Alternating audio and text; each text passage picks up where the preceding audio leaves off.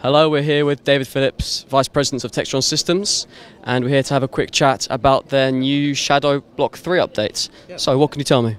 So Shadow is uh, celebrating, we're celebrating with the Army this year 20 years of service to our warfighters with Shadow.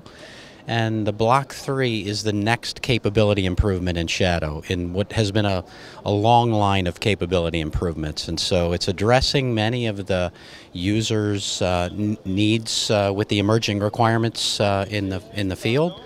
Uh, the first thing it's addressing is uh, power. So um, we have an upgraded engine. It's a new higher reliability, higher horsepower engine. Uh, it's a water cooled engine. It's just under 50 horsepower. So it gives us additional margin to enable the shadow to climb out to altitude much quicker. It gives it uh, power margin as well. Um, and it's uh, it is a quieter. It's a lower audible signature engine. So a lot of the lot of the things that the feedback from the field is being addressed with that engine. Uh, additionally, the Shadow, um, as part of as part of Block Three, is getting uh, the ability to operate in inclement weather better, and so expanding its uh, its uh, ability to execute missions with an 800% improvement in uh, in precipitation.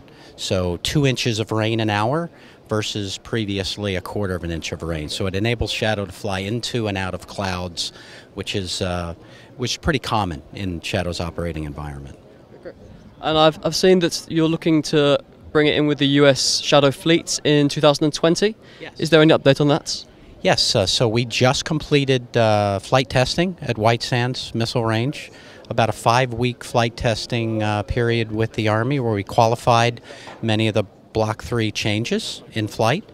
Um, and, uh, and at this point, we then go into hardware uh, procurement and some follow on test and evaluation with the Army, and we would anticipate uh, first unit equipped with the Army in, in 2020. Great. And on the topic of the United States, um, I see you're involved with the Future Tactical UAS Systems program, and um, I was wondering if you could update me on the um, HQ. Certainly. Um, you know, the Army is evaluating, uh, particularly with respect to their brigade combat teams, evaluating a system that uh, that would be able to to operate either complementary with Shadow or ultimately um, um, in place of Shadow, and so they're they're they're trying a, an accelerated acquisition uh, philosophy whereby they're they're saying we're going to buy, try, and decide.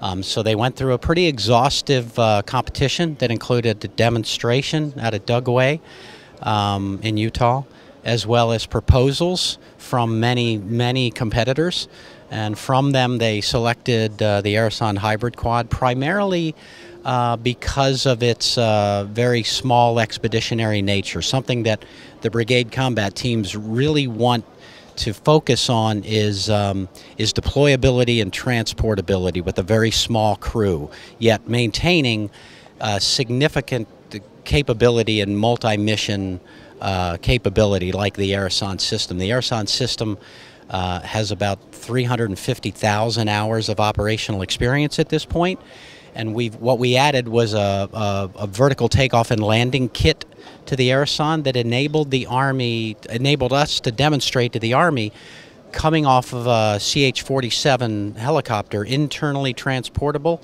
um, coming out with a crew of four and getting an aircraft launched in under 20 minutes is something that uh, the brigade combat teams are valuing in terms of expeditionary. Great, thank you very much, and thanks for talking to me. Okay, Cheers.